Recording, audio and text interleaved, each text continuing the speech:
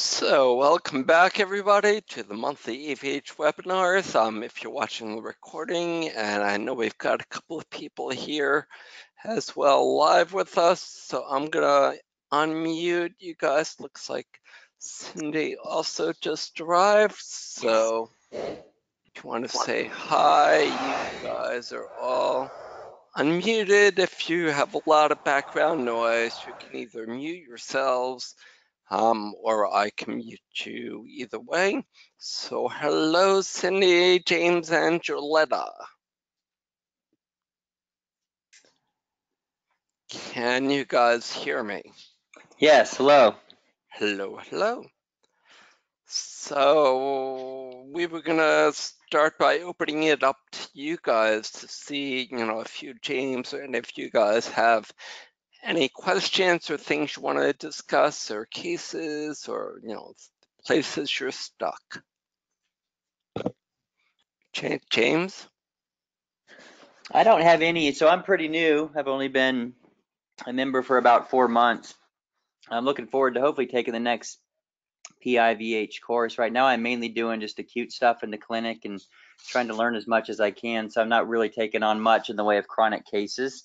So, but I've enjoyed the last few months just learning from you all and and listening. I love love this uh, webinar every month. So, um, hopefully, eventually, I'll be taking on some chronic stuff and, and working my way through that. But for now, it's been mainly acute. So I don't really have anything offhand. Sue, James, we met, we met right in, in um, Yes, that's right. Florida. Yeah, Yeah, how are you doing? Yeah. good, good. It's nice to see you. It was good to Yeah, see you guys that I saw when, when I was in, uh, when I was in Florida at the, at the Holistic Vet meeting. I was that? Yeah. So I was going to say, if you remember all the way back to, you know, uh, Tampa when AVH was there, um, that's a darn good memory, but you're, you're referring No, to no, this was, uh, yeah, this was, yeah, um, Kissimmee just this last weekend. Got it. And Lisa, you joined us after um, we pretty much just opened up the mic and asked you guys, you know, if there is there any cases or other topics that you want to uh, discuss in this more study group kind of kind of environment before we go forward. Well, Can you oh, can you hear me? Yep.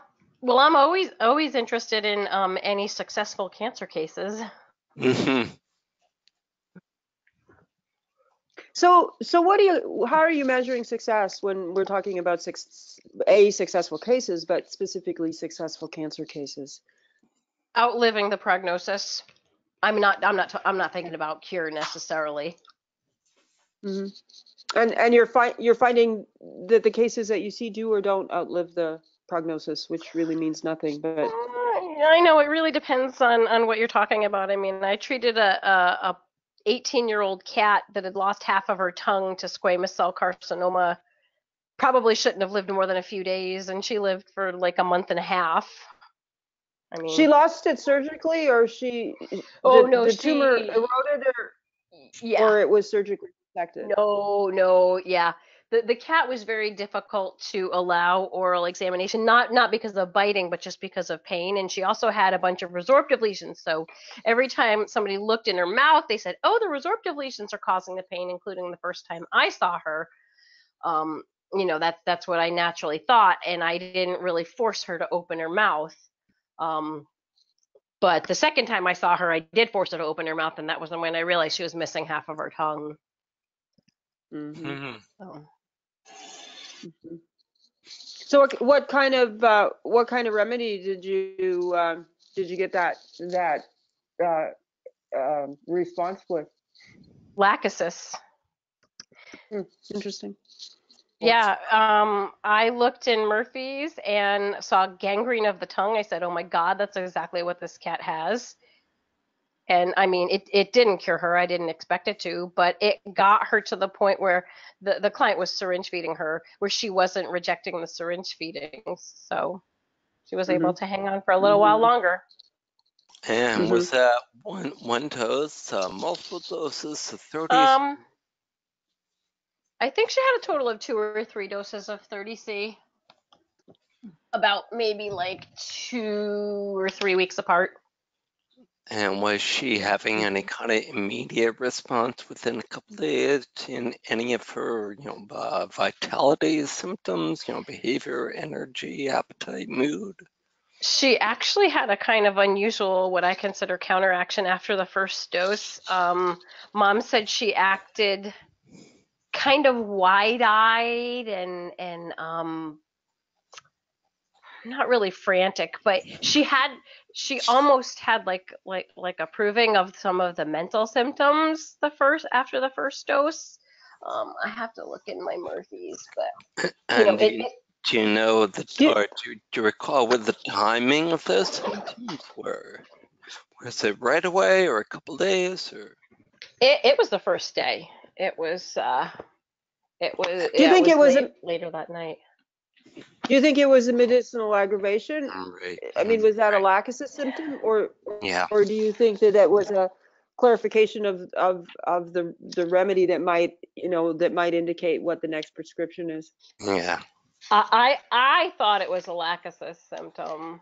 I mean, I mean, because I I you know when I found out delusions and hallucinations. I mean that that sounds exactly like wh- what she described. It seemed like the cat was experiencing. So And So- what was so- the dose that you gave? Do you know?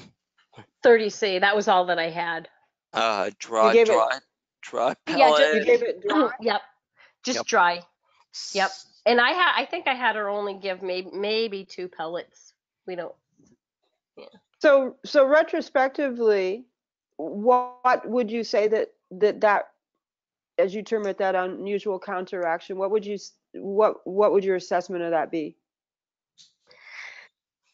Uh, I, I, in my mind, I thought it sort of solidified that I had the right remedy. Maybe in hindsight, it would have been better to go with a lower potency, but she she described the exact behavior that it sounds like, you know, with lachesis. Did you see that after the second dose? No, we did not see it after successive doses. It's, Did It's you plus the remedy or did you keep giving just the dry 30C? it was dry. We, yeah, we just um well actually she, what what she was doing I, I I it wasn't given dry. She would dissolve a couple of pellets in a little bit of water. And um I'm still a little new at this, guys, so I probably should be having clients count pellets. Um do do you guys um I tend to favor the smaller pellets, the like number 10 pellets, which are obviously harder to count. I mean, do you guys all use the big globules so that you can know how many pellets or what's what's the consensus? I, I like I the, said- the small pellets too because they're hard to spit out, but I don't count Yeah. them. I, s- Okay. I send them out wet. So, so the client will get a, the client will either get a medicinal solution or they'll get, depending on where I'm shipping to, or they'll get a single pellet, rarely two, in a, in a dropper bottle, and then they'll add the diluent when, when the, when the package arrives is at their house.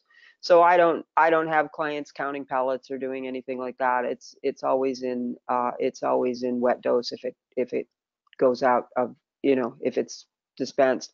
On the rare occasion that I have uh, folks mixing up a remedy at their place um, for whatever unusual circumstance, then I just have them, you know, do one do one pellet. My my stock, my remedy stock is all in the in the little tiny poppy seed size pellets, but those pellets are relatively rare uh, to get if you're you know if you're going to the store and buying them or or whatever. You know, most of those are in the larger pellets. Yeah, those are the number, I think I number 40s, the big ones, yeah. And I think we really do underestimate the, um, you know, the, the, the, the actual power of, you know, one pellet, three pellets, six pellets, so however many pellets that, you know, that we, that we tip in, into things. And I think, um, I think, Lisa, if you, you know, as you start to continue to, uh, hone that craft of, of looking at starting to do, uh, liquid dosing, you're going to really find that the number of pellets really makes an influence. first of all, the dry to the liquid, you're probably going to find uh, you're going to find a difference, but also the number of pellets and and how you handle that solution. You may have been able to um, to amend that solution by dissolving it in a larger amount of water and giving the cat less of that dissolved medicinal solution, or you may have been able to uh, take that that original dissolving uh, dissolved solution into a, another cup and and diluting it even even further to try you want to you know try and reduce that medicinal aggravation Yeah. I mean, it wasn't horrible and it lasted for maybe an hour or two. Um, but yeah it, horrible's relative I, I mean horrible's relative and and we do know that these most of these individuals who've got themselves with a cancer label diagnosis have got a pretty uh, have got a pretty um, um, uncoordinated, if you will, vitality. You know, and and the other thing is that we you know we don't know that we don't know what was going on on inside the cat's head. So so you know if you read some of the mental and emotional uh, symptoms of of lachesis, if you know if she's wide-eyed and frantic and delusions and hallucinations, who knows what that cat might have been experiencing at that time. You know. Yeah.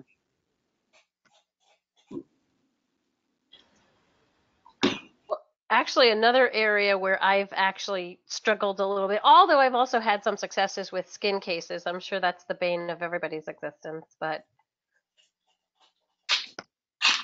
do they get easier as I go along, or do you guys still sometimes struggle with these tough skin aller- allergic animals? Sometimes, yeah. I kind of moved away from thinking of allergy um, because I don't know.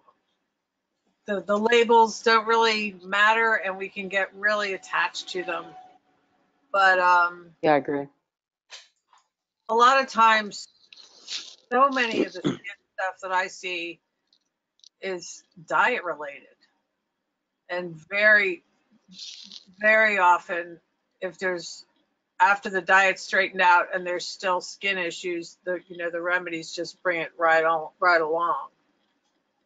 That's what that's what I find. That's what I find too. Is is it's it's pretty uh it's pretty not fruitless, but but we see so many cases where we're seeing artificial disease from errors in diet and supplement, um, or we're seeing uh, spot on flea control, or we're seeing household chemicals, or um, uh, you know different products that are being used in the in the home that are making a that are making a significant difference. And getting these guys, you know, on a more species appropriate diet, looking at some of the uh, looking at some of the things that tend to be, you know, trouble listed things like some of the grains, the glyphosate mediated stuff, those kinds of things.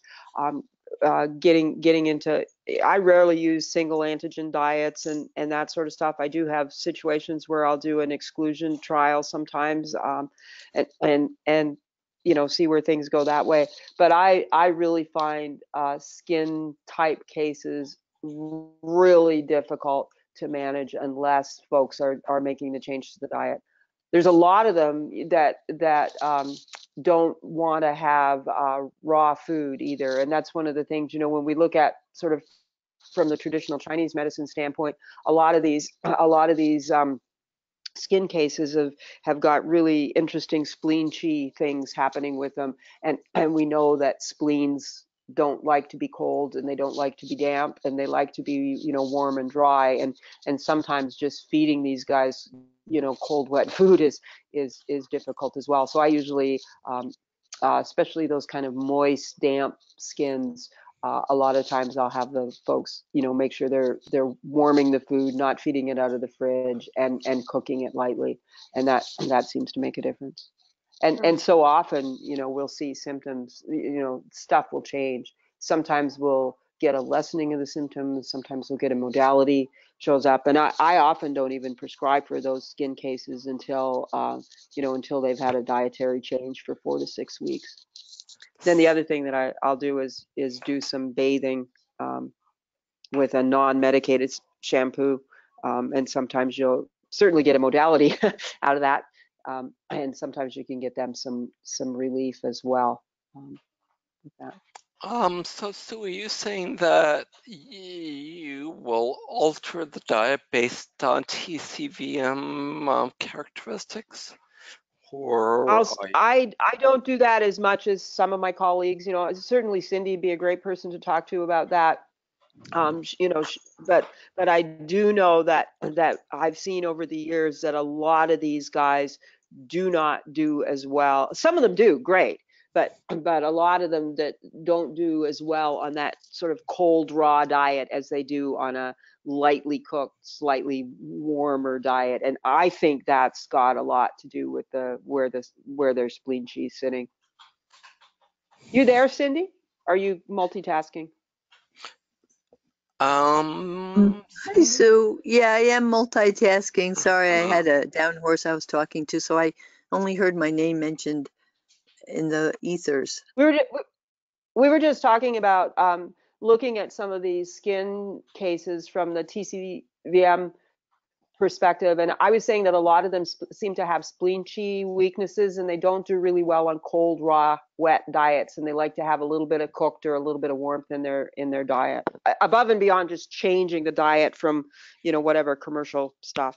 And Jeff asked me, am I managing cases from a from a uh, traditional Chinese diagnosis, and I tend not to do that, although I tend to sometimes have it in the back of my head. But Yeah, uh, I well, think- you know what a mongrel I am, but yeah, for sure. yeah, Um, they're they can't digest their food well, and then they've got No. leaky gut, and then they've got all the their livers are overwhelmed from all the garbage, and then Yep. they have retained pathogens. So I I tell everyone to lightly cook their food, the meat, the veggies, keep the crap out because they don't have the energy to digest. They can't digest any of the cellulose. So yeah, I, I like them feeding warmed warmed food and well cooked veggies and and I Yeah. do like using oatmeal and, and rice. You know, the whole pea flour thing is a big issue and there is a malabsorption from all the pea flour that they're using um, without soaking that, you know, that outer crap out. Yeah. These are fine. So so it really is a real issue. So yeah, it's it's a big problem. Yeah. And I think I think most these tough skin cases, unless we can work around them with the, the diet and some of those obstacles to to both cure for the energy of you know getting the animal to be able to you know to gather up enough vitality to respond but uh, but also for obstacles to clear expression of the symptom picture uh, you know we spend a lot of time trying to chase remedies around uh, for stuff that's actually a, you know an error in in diet or supplement or whatever Yeah. Yeah. Yep, completely agree. And uh, Lisa, um, I, f- I find that some do get easier, some don't, but it's really, really important regardless to have the clients set their expectations or set their expectations with them when you first, you know, talk to them. Um, because a lot of the people that that I've seen, you know, kind of expect homeopathy to be a, a miracle after, you know, one or two remedies or one or two months, even though they've been struggling, you know, with different meds for months and months and sometimes years and years. Mhm. the the other yeah the other thing that that you know uh, you, all those other obstacles and and and uh, uh, mitigating factors the other thing that really has helped me over the years with skin stuff is just back to that whole conversation that we had earlier about posology how do we present the remedy? At what interval do we present the remedy? And and um, you know wet versus dry so you're you're minimizing medicinal aggravations uh, and Yeah. you're fine tuning a, a slow it doesn't necessarily have to be a low potency slow repeated dose but but that you're that you're you're keeping things consistently under the influence. The other the other thing that really is helpful is uh, well two things to think about. One is to try and elicit the symptoms from the the the client to you know what was this like when it first started not what is it like now because they're all bald red and itchy Mhm. um, but but what was it like when it first started because that's often the truer voice of the of the naturally occurring disease. And then also coaching people about you know they're itching all the time. Well they're itching all the time like do they are they itching at night? Do they sleep? Do they play? and and and that whole thing about realizing that one of the first things that we'll see when we get these guys on an appropriate modal or on an appropriate remedy is that we start to develop modalities that might not have been there. So so we start to see a time of day or a circumstance or something that makes them the itch less or the whole animal feel better or feel worse. And and and unless we're carefully questioning our clients and unless we're coaching them to say hey these are the kinds of things that you may see um, you know like where on the body are they itching? How easily can they be distracted? The bathing part for me is is really a useful thing you know if you get them on an oatmeal bath twice a week uh, can you tell that, the, that they're ready to be bathed you know if they're being bathed on saturday and wednesday you know are, are they ready for a bath on monday are they ready for a bath on tuesday are they ready for a bath on wednesday morning um, so you, you can start to see those kinds of shifts too, which which if you're if you're using the itching not itching yardstick, um, you're not going to you're not going to see them. Um, Right. Yeah. So it, yeah, so it's a subtle transition um, sometimes. Yeah, and uh, Lisa, we've um we've emailed about this a little bit, but you know what we're doing with holistic actions uh, with with animal guardians is training them to be on lookout exactly, you know, know what to look for, know what to expect. Um, and training your clients, even getting them to get a CANS or, you know, know what a modality is and, you know, look for any modification or any general symptom. It's really, really, really important with the- any kind of end stage pathology or skin case. Yeah. And I think Joletta had some also And and and and you also gotta you also gotta just get really brave about you know no vaccinations. Uh, you, you got to deal with the rabies police waltz. Uh, Mhm. no spot on flea control. uh, Mm, no, you know, no super medicinal holy moly shampoos, no other modality, not necessarily no other modalities. I'm not going to say that because I know some hands that that that there are multiple modalities that that are applied beautifully together. But but we need to we just need to recognize that those long standing, you know, tired skin cases are long tired, long standing tired skin cases, you know, and so we got to look at you know the gut and the and the and the appropriate microbiome. We've got to look at environmental toxins we've got to look at all all of those kinds of things uh, water is another thing that really makes a big difference and and uh, i see a lot of cases where water can be a c- can be a huge uh, uh, obstacle both to to cure and to presentation of symptoms. What, what, something in the water or yeah quality of the water purity of the water contaminants in the water um, uh, electrical conductivity in the water. Uh, water that's being softened uh, can of, often be an issue. Uh, we have a lot of uh, a lot of uh, because of the because of the lack of appropriate electrical conductivity in the water we have a lot of animals and humans too that are drinking but they're really dehydrated be, because there's not any spark if you will in the water um, and and and you know things are not they're not absorbing in in the cells and, and balancing things out that way. So how how do you come to that conclusion? Do you say give them bottled water for a week? what I do mean, you- what do you do? yeah. Well, so, yeah, it depends on the situation. I, I tend to ask a lot of questions about water. And I mean, some of that is from my personal bias. Some of it is because I work a lot with livestock. Some of it is for a lot of reasons. But but, but I ask them what kind of water do they do they use. Uh, I ask them about you know have they had their water tested, uh, or I'll a lot of times they'll go and look and you know if they're on city water. Um, most of the city water places have got a water report that you can look at and get the basic kind of stuff. If they're on rural water, uh, we know that there's some geographical issues with with rural water. If they're on water that's being softened, you know, I've got a water softener or water conditioner in my house. A lot of times those those can uh, th- there can be a lot of issues with that. Um, eh, dental tartar actually is one of the ones, kind of that frothy. Um, that frothy pumice stone looking dental tartar, uh, I see in a disproportionate amount of animals that are that are on uh, on city water that's being run through a softener.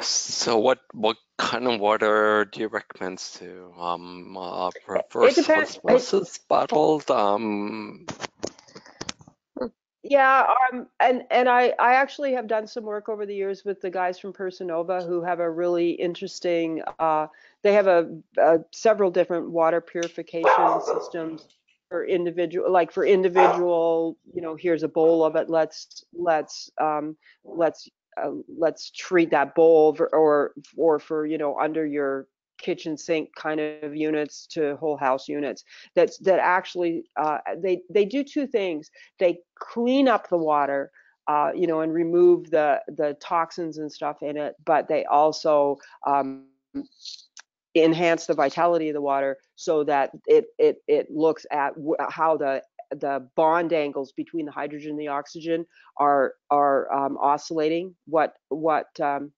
what um, amplitude through which they're oscillating and that actually has that water uh, um, behaving more biologically appropriately.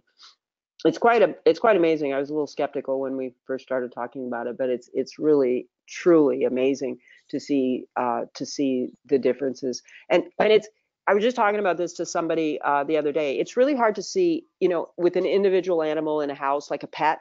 Um, we really see phenomenal differences when we start looking at water quality in agricultural situations. So if we have a, a hog barn or a chicken house or something like that, where we clean up the water and start seeing conversion rates that improve by 30%. We start seeing death rates that go down by multiple, you know, double digit percentages. We start seeing rates of gains that go up by by by double digit um, pounds per animal. You know, we're looking at, you know, hogs through um, through weaning, um, and they're using less antibiotics. We actually see it too on the field where they're actually able to mix. If they were to mix agrochemicals at the label dose, they burn the crops down. They have to knock it down um, uh, 40 to 60% of the label dose be, because the water is um, being absorbed more, you know, it's carrying things and it's being absorbed into the plants and the animals uh, more fully. So, so you know, one,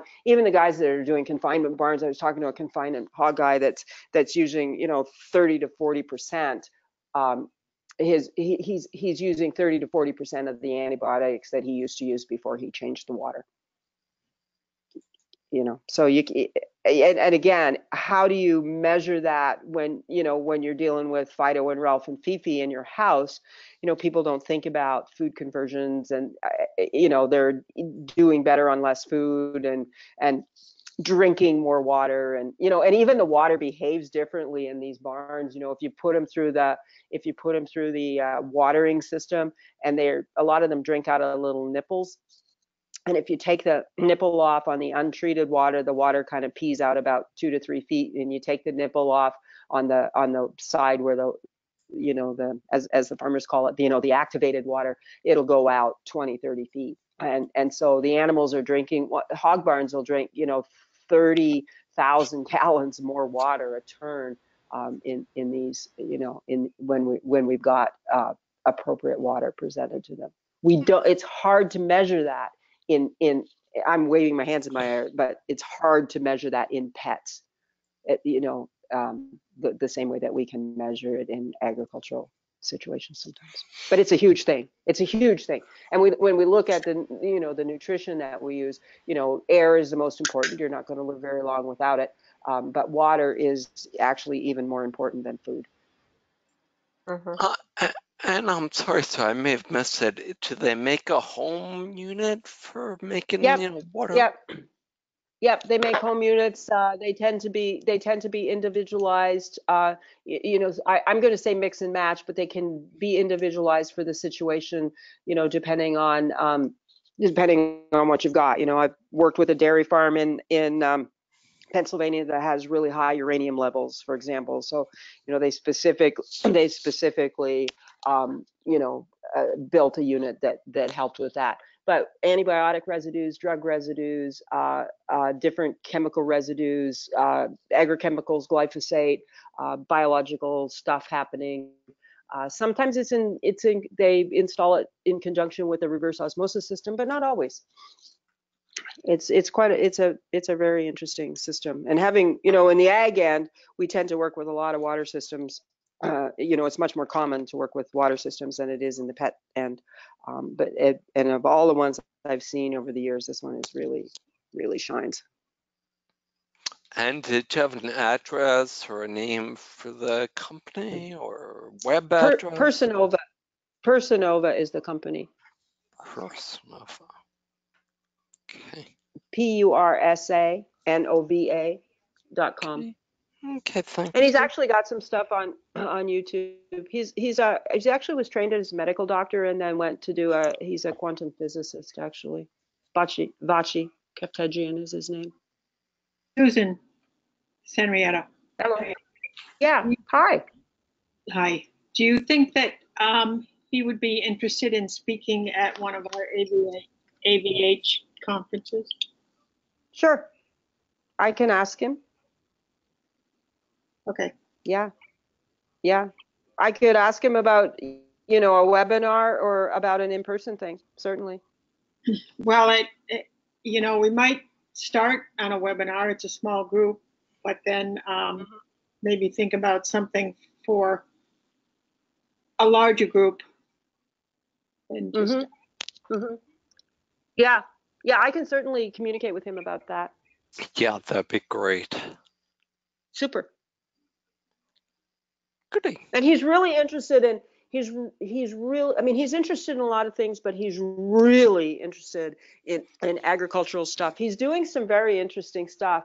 Um, he's got a he had a visit not that long ago from the World Health Organization because he's got a system where he's building hydrogen peroxide based on his activated water and then they're I, I don't even know what the term is, but micro nebulizing it and putting it out uh, through the air conditioning type vents. And they're using it in the in the places where they've had um, um, Legionnaire's disease and they can't get it cleaned up. And he so so they're putting it into um, they're putting it into buildings and facilities that have been contaminated with with Legionella and and using that to you know to to to clean up the bacterial issues, um, and and also using it in uh, uh, mostly in confinement barns uh, for reducing airborne pathogens and that sort of stuff. They, he's got two systems. One one that works uh, when when the place is vacated where there's no humans or animals in it, and the other uh, he's designed that's okay, you know, if there's animals in the system. I think it's got really great application in places like surgical suites and um, meat processing plants and and maybe even like milk houses and stuff you know that that would be a, a total surface decontamination with a really non-toxic you know basically super nebulized um, really tiny tiny tiny droplet size uh, activated hydrogen peroxide. It's quite fascinating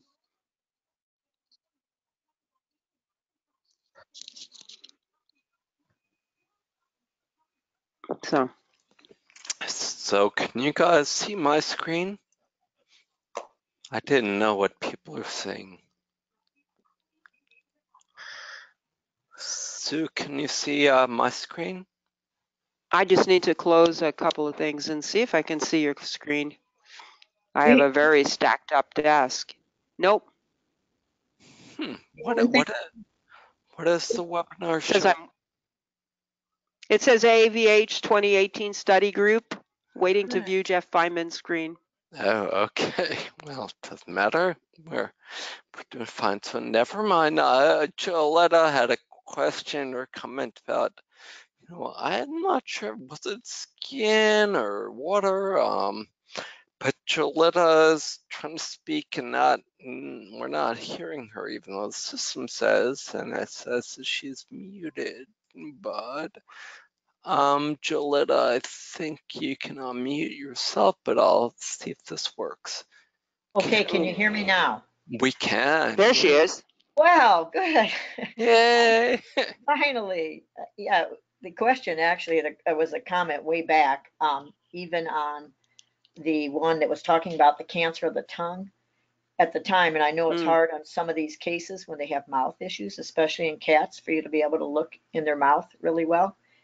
W- Initially, were there any modalities or anything that led you to the lachesis, or was it just more from knowing, knowing the remedy and the gangrene appearance? Was that basically most of it? I know I, I just saw a screen come up.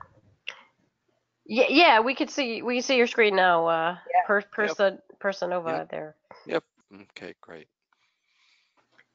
So anyway, in- that was my question.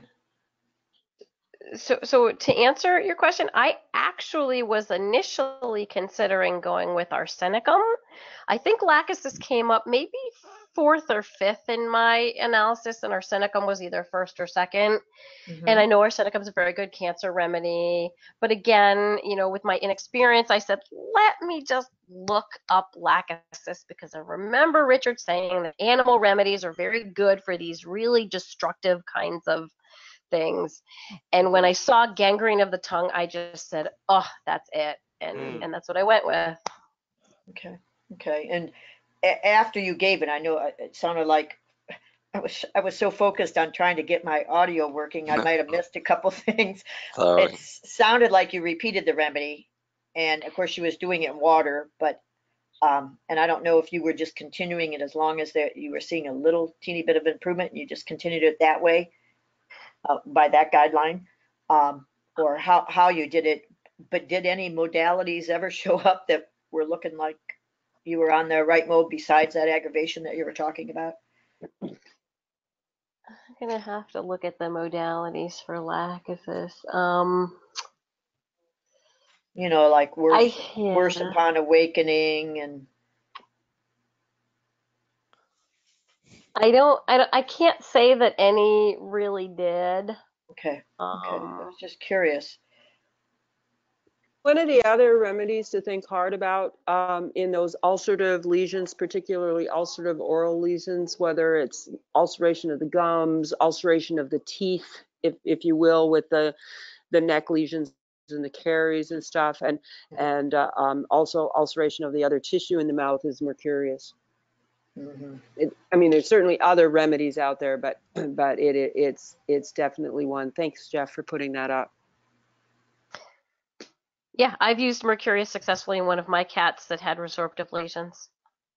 Yeah, and I, I've used Mercurius um, uh, successfully in some uh, oral tumors, and and you know certainly we know it well in oral tumors in humans. You know some squamous cells secondary to uh, tobacco use and and and that sort of stuff. Um, the other the other I had a really nice uh, squamous cell carcinoma in a in a dog. Some of you have heard me talk about this case that lachesis and um, lachesis and our, or excuse me, phosphorus and arsenicum with a three-year plus survival rate. Well, that was what, a squamous cell carcinoma case, Sue, Susan? It was a squamous cell carcinoma of the um, the soft palate actually was where the initial lesion was and and the dog actually shoved the mass laterally bumped out one of the molars and then uh, and then the mass moved anteriorly ended up underneath the philtrum in the in the dog's nose um, leaving perfectly normal tissue behind and in the in Wow. the interim lost its fear of thunderstorms and loud noises and uh, quit having epileptic seizures. It, it was really a sweet, wow. uh, really a sweet Wow. case. Yeah. Won- Yeah, it was a Wonderful, case. wonderful. Were, were you Yeah. dosing, dosing with the, uh, uh, method in the fifth, Look- fifth edition of the Organon with the liquid dosing? I was dosing? doing six.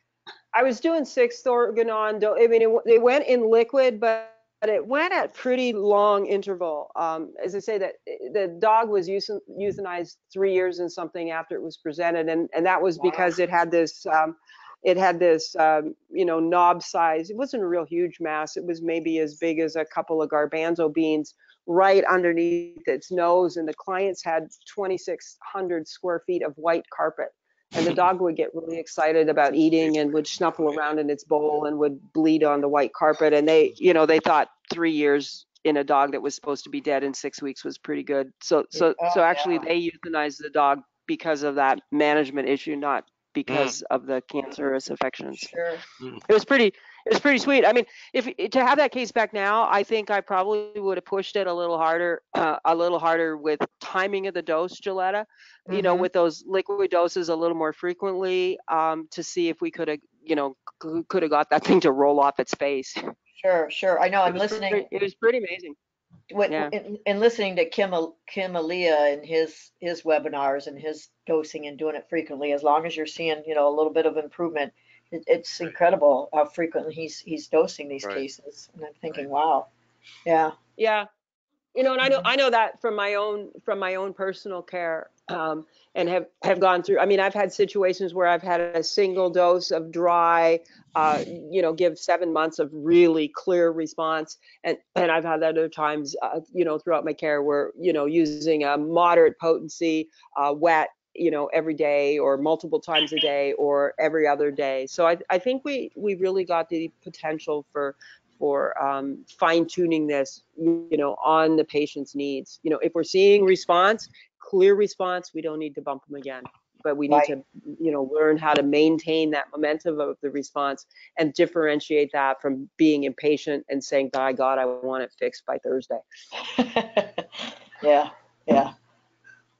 Yeah, and Andre has found, and Judy, you may want to comment as well about Andre's posology, because he's found that cancer and you know ALS and some uh, other neurologic more serious diseases. Need really frequent uh, dosing, just like Sue said, you know, keeping, keeping him under the influence, but he'll do it with you know uh, 10 amps or CMs or higher um, as often as a couple times a day if needed based on the response. And that's, right. I guess, always the key is, you know, um, if needed. And, you know, and I, I, I, I can remember talking to uh, Ramakrishnan about a cancer case way back in the day when he used to he used to come to Pennsylvania and there'd be a real small group of us meet, and he had a kid that uh, came to him. His his father carried this child on his back for two days across the mountains until they got to a friend's place, and they borrowed a donkey for another couple of days, and they put the kid on a donkey and took him to this big clinic that the you know he was there one of those things you know like there's hundreds of people in the room or in the yard and and and he he he gave a single dose of silica 200c to a kid who had a essentially an osteosarcoma of the um, of the um, tibia right at the knee. And and you know they dad put him back on the donkey and off they went again. And and months later talked to those those people and you know that the child was pain free he was walking. The big mass went away and you know things things were well. And then had had a couple year follow up on the on the kid. But you know again it's hard when you're you know three days donkey and two days hiking away. But that was a and that was a really sweet case you know and that it was a really sweet case for a lot of reasons but it was also a really sweet case because you know a lot of people really i think misinterpret Ramakrishna's work you know doing the multi remedies and the and the rote posology and the alternating and all of that sort of stuff. He's got a nice protocol he's got an interesting protocol for repeating doses at interval you know and and kind of pulse dosing but he certainly he certainly does single remedy uh, prescribing very very effectively so not all of his successful you know prescriptions are the alternating dose that he's often misinterpreted for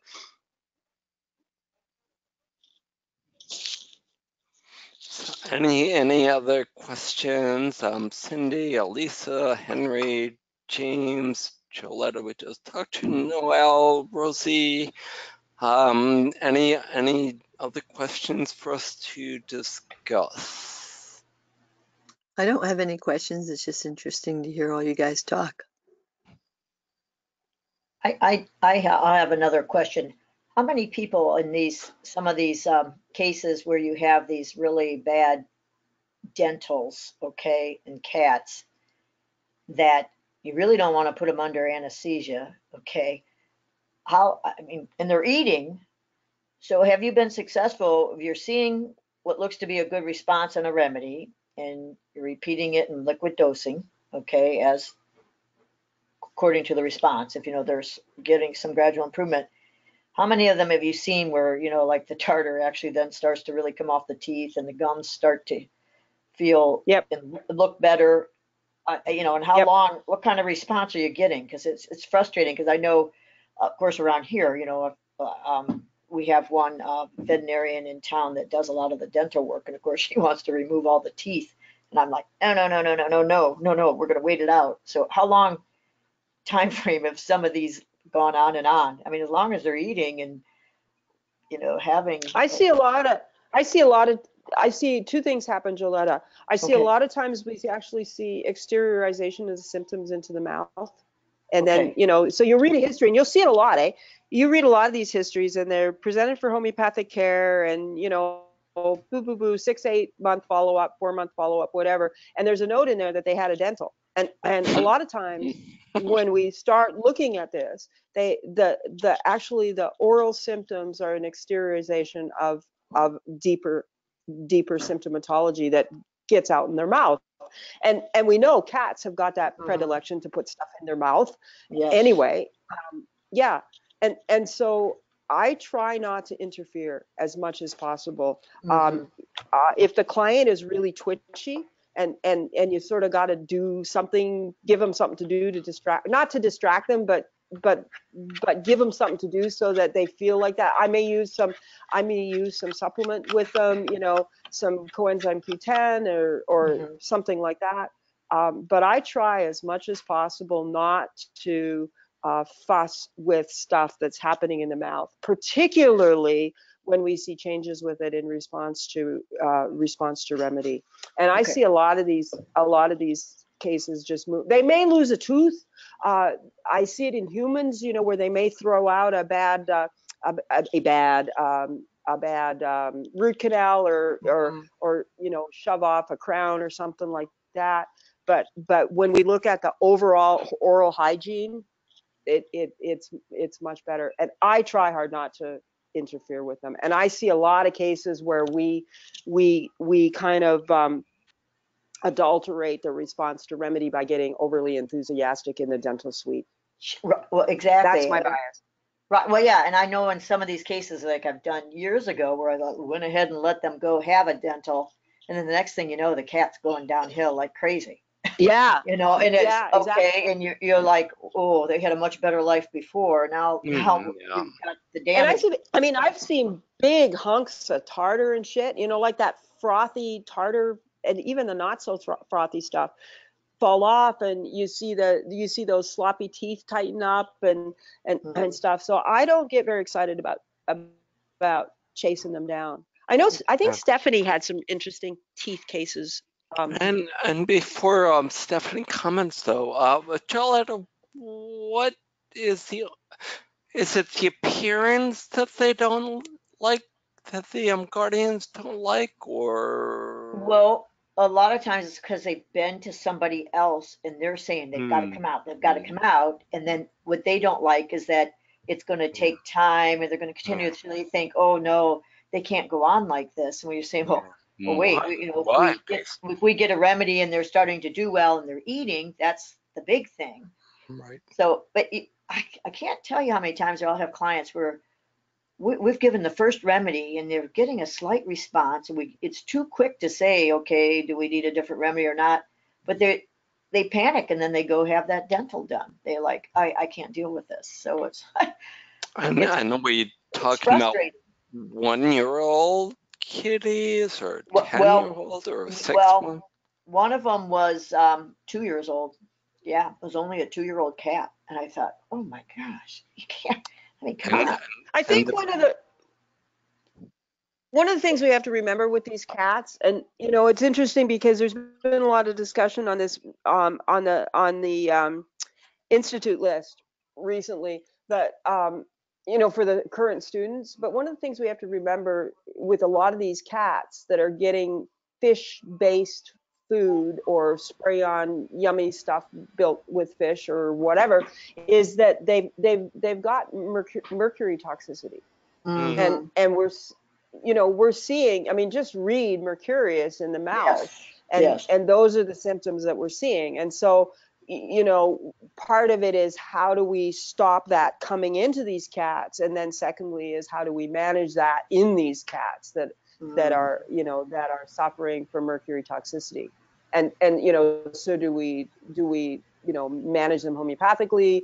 Uh, do we use other mercury uh, purification kinds of things? You know, do we do we use a, uh, uh, um, you know, a solubilis instead of a, a you know, vivus or a vivus instead of a solubilis or something like that in our treatment as well. Mhm. But a lot of those, I think a lot of those mouth things that we see, particular, I mean, we've got really sick young cats certainly, but it's just like that skin conversation that we had, uh, you know, earlier. Is I think a lot of those symptoms are artificial disease that are that are you know being exacerbated by the diet.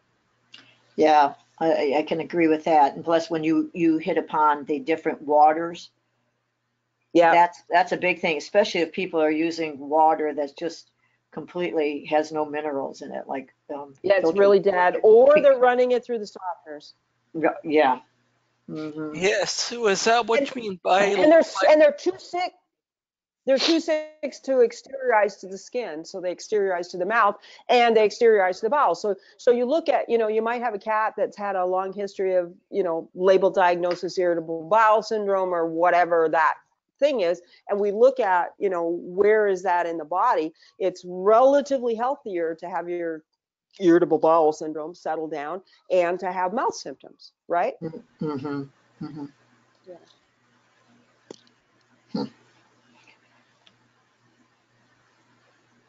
but somehow I don't understand it. We, you know, we profession as a profession tend to think about dentistry as totally detached from the rest of the animal. I know. Well, what, oh, what, do you, what do you mean? You mean us as homeopaths, or you mean uh, the conventional? Because um, isn't it just another way of reducing the body into parts? Yeah, I agree. I agree, and I think I think you know in the homeopathic community, I think I think we tend to uh, we tend to forget that. You know, um, we we think about oh like they make a discharge in the ear, and we might not use a typically medicated ear stuff, or they they throw out a lumpy body thing, and we tend to not to get too you know we might hesitate to just be lopping and chopping, but they get a they get something in their mouth and all, all of a sudden they're off for a dental you know it's just like whoa whoa whoa whoa Hmm. Well, yeah, or sometimes the clients will go ahead and do that and then they, they tell you weeks later, you know, because they don't want to Mm. let Yeah. you know. I've had that happen too. And I had a, I had a dog presented to me once. It was a standard poodle presented to me with a a mouth a mouth of a mouthful of really kind of mercurius looking teeth. It had uh, a lot. I mean, you know what it looks like if if I say that. And and you know, drooly and uh, dirty flews and um, uh, purulent discharge and receding gums and some ulceration of the of the mouth that had actually been biopsied and had been fine. And we had this long conversation. This is the first visit of the client had ever come. We had this long conversation about what would I do with the dog, and I told them what I would do with the dog, and they said that was fine. And the lady of the family was kind of. Uh, uh, she was kind of an interesting lady and she didn't think the dog looked good or smelled good or whatever and they so they took it to a conventional veterinarian had a dental done had two extractions done and three weeks later the dog was back in my office with a squamous cell carcinoma of the tongue which Mm. i know i know was not there and i know the guy who did the dental and i you know because he and he biopsied some of the gums not it was not there and and like I say, back in my office in under a month with a squamous cell carcinoma of the of the distal portion of the tongue, and that dog vacillated between mercurius and phosphorus and mercurius and phosphorus. And and um,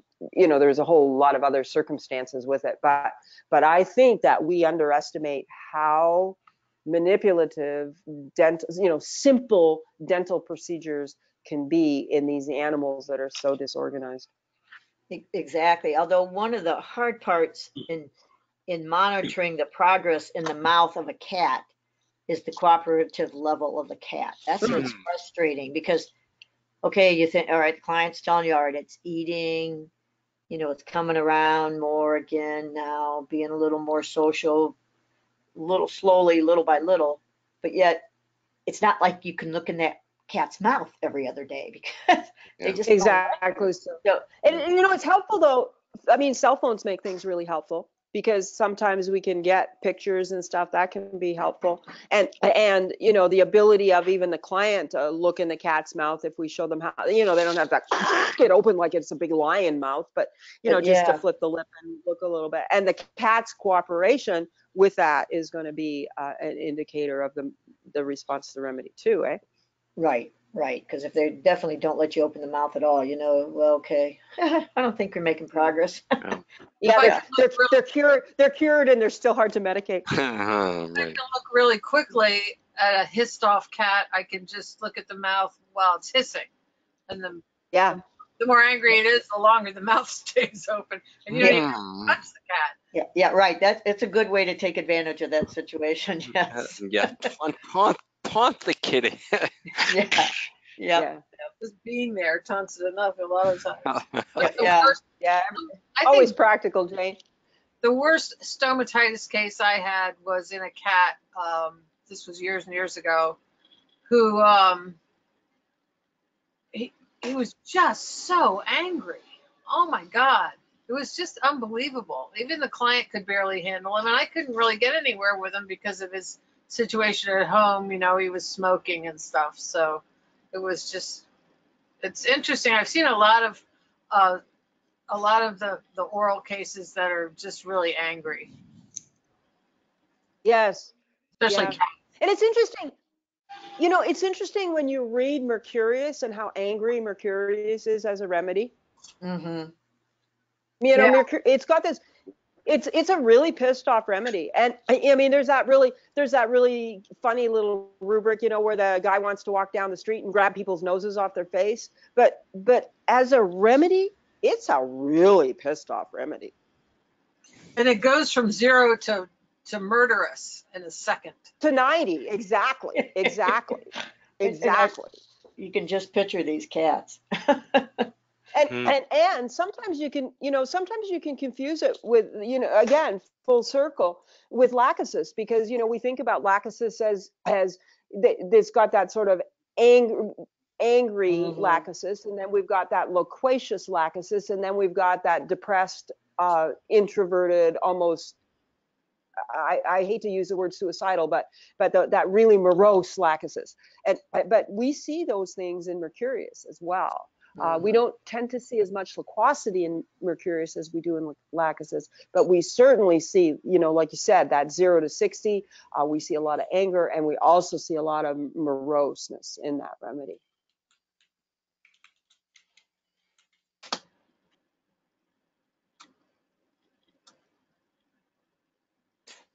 I'm looking at Jeff's screen it, to see I'm not telling lies. um, sure, it's fine wine loquacity. What are we looking for? Just a bigger rubric, I guess. So you have radar here, uh, Uh, yep, Jeff? that's Okay. that's uh, radar. Since some radaring. mhm. Um, yes, I guess Marcus and the rubric. Hmm. what, one- what rubric are you looking for? Um, in uh, requesting. Mhm. What were Bigger. you looking, well, it's huge. Yeah, it's a big one, which Mhm. I'm surprised it's got a couple of mercs in it, so, but, yeah, you're right, but But certainly does- regular Merc's not in there. Yeah. Hmm. I don't know either of those mercs. So it's nine o'clock. Do we want to keep uh, talking? Do we have other questions, or you know, what do we want to do, guys? We probably need to, we probably need to think about wrapping it up and Right. Okay. So, so for the folks that are here now, what do we want to do next month? Do do we want to talk? We do we want to talk about some case taking stuff? Do we want to do more um, um, individual case type stuff? Do we want to do more free free association stuff? Oh, I, I can speak being somewhat of a still of a newbie. I've only been practicing for like maybe like two years. Well, I mean, I've been a veterinarian for 18 years, but I've only been doing homeopathy for about two years. I, I'd love to hear more about cases, particularly where there may have been an initial incorrect remedy and then got to the correct remedy. Okay. God knows we've all got those. Yeah. And I see, you know, I have quite a few cases. I see that a lot. I uh, I see that a lot, and I see that a lot uh, because I'm I'm fortunate to share other people's cases too in the mentoring work that I do, and some of the student cases. And and there's some really nice cases where we start seeing, you know, even if our remedy isn't right at the first prescription, the response of the individual is going to lead us to the right remedy. But but the challenge is seeing that response you know, and differentiating, for example, medicinal aggravations from from appearance of new symptoms and, and that sort of stuff. And and that there's some I know I have some nice cases of mine, you know, that we've kind of staggered through the bushes with. And I know that there's been some nice cases that I've read in the last in the last while that show that. And I, I'm sure, you know, I'm sure we've all got those as we wander through. Yep, and, and, um, so uh, Why don't we do that? Yep, that, that's a great, great topic. And doesn't, yeah, Nikki's, uh, so Yeah, Nikki's got that really great book on the on second prescription. Second prescription, yep, that's great. Cro- Yeah. so- And and uh, Sammy H has written some really boring stuff about that too. Sammy H. And I'm But sorry. nobody reads it. Who, who was that? Who was that? Yeah, right. Yeah, yeah, yeah. Yeah, Yeah. sorry. Like it's Well, my or- old dead guy fan club. Oh, yeah, that guy. Yeah, that guy. Yeah. That guy. Yeah, well, yeah, Yeah. but like, like you said, but maybe presenting, because it sounds like what she was talking about, wanting to know. So seeing cases where, yeah, there might be a determining whether it was the medicinal aggravation or it's actually aggravation, a homeopathic aggravation, that, that it's getting better, Or- you know? Or no response. Or, or yeah, or revelation of of new symptoms that will lead us to the next remedy. Mhm. Now, isn't that always the challenge, though, interpreting the response? It is. Oh shit, that's the hardest Oh. thing we do. Yeah, Mhm. yeah, Yeah. for Mhm. sure. So, Lisa, I would say, in my experience, that it's much more common that you're giving a close enough comment stimulating the vital force to make a new symptom that if you're looking for is going to lead you to, you know, more curative, closer remedy. So, yeah. That's that's my experience too. You know, like the the holy moly, the bells ring and the angels sing ones are far rarer than than the you know Will Will Taylor talks about this a lot. You know, like getting the soccer ball to the goal. We don't very Mm. often do that direct kick. You know, we go Mhm. down over here and they go, oh wait a minute, I got to correct. Let's go over here. I got to correct, and you know, then we get to the goal. Good old, good old zigzagging. Yeah, yeah, exactly. Oh, exactly. hey, I want to share before we sign off. I wanted to share about a book that I found at at um, Powell Bookstore in Portland, Oregon, this summer. I always go and use bookstores. I always go to the uh, the medical section and see what they have for about homeopathy and all the matter. The short story is that I was able to. I found a book for um, the inscription said. Um, I forget what the inscription said. 1858. It turns out it was published in 1850, and it's actually a homeopathic pharmacopoeia. Oh, So- my God. That was pretty, uh, yeah, because I was looking at it and I see, oh, it's 1850, and then I saw that it was a pharmacopoeia, and then I looked closer and I was like, oh, it's a homeopathic pharmacopoeia, and it was, uh, Wow. it was pretty cool. Not not very large. I was really happy. I was really happy when the bad banditos broke into my house in Pennsylvania and turned it upside down and stole shit and made a mess and everything. And I, my heart was in my mouth because I've got some uh, uh, 1860 uh, veterinary Mm. books and homeopathy books and stuff. And I just, you know, of all of the stuff um, that, but they were still there. They were not where I left them, but but they were still there when I sorted stuff out. But yeah, oh my God. Great, Mhm. great. You know what, I have a quick question about of Materia Medica, what Materia Medica, I know Kim Elia has used um, Blatta orientalis in a couple cases that he's had. What Materia Medica has information about Blatta? Because it's About not, Blatta? yeah, Blatta Yeah, co- orientalis, co- cockroach is it? I think And I guess built B it into A D A? AT. B L A T B T, L A T T A. Yeah, that one, Yep. Blatta. That's it. And, and, Sure. um, And- Homeo, homeoinfo.org has the proving and, um, proving is, uh, Homeoinfos.org. So H O M I N F dot org, Remedy Blatta has got the proving. Uh, Allen, Allen has the proving yeah, in, in, uh, in, in TF Allen's Materia Medica. Yep. He Okay. has the proving as well. And there- although there was a more recent proving, I think too, because, because there was a big issue, um, no, it was chocolate. It was in the proving of chocolate because there was a lot of cockroach in the chocolate. That's the way it went in the chocolate. proving, Oh. Yeah, Ooh, chocolate covered. yeah, but Yeah. Allen, uh, Allen's, uh, Allen's got it and, uh, and that other website. Okay. has um, Just, just ask the Dr. Grandma Google about Blatta provings. All right, so that, that was H O M I N F dot org was the first site, not Yeah. homeo, not homeo. Remedy forward slash Blatta, yep. Okay. All righty. Go that. All right, thank you. All right, we'll sign off. Um, thank you all for coming and we'll, Thank you. yep, we really Thanks, had guys. a lot of fun. So, um, we should do this again if everyone agrees. You know, the same kind of open mic format, depending on how many, how many people are there. So thank you all again. Thank you, Sue. Thank you, Joletta.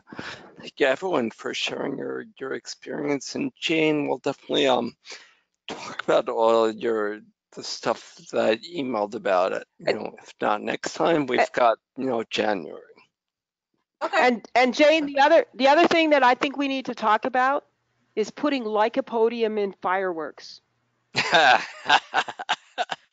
We already Uh, do, yeah. I was gonna say that. I know you do, but I think that would be a great conversation. You could, we could do like a podium of all the Are- ways. are- you mean, you mean, are we treating all the spectators I when have, we're a. I have a whole tub of it. Not a huge tub, but it's maybe a quart, you know, of like lycopodium. To make a green, green, green light when it, when it ignites? It makes a flash. It, it, it, it enhances the fire. Oh, great. Oh, It makes little sparklies, you know. cool. Sparklies. All right, well, Fireworks weekend. I'm looking forward to it. Oh. and then hopefully see some of you guys in, what's that, North Carolina? North Carolina, that's coming up. Okay. Uh, yeah, All right. I'll be there. Yeah, I'll be there. Well, Good night, all. see you all then, Sounds thank, good, guys. all right, bye-bye. Night. Thank you. That was really interesting.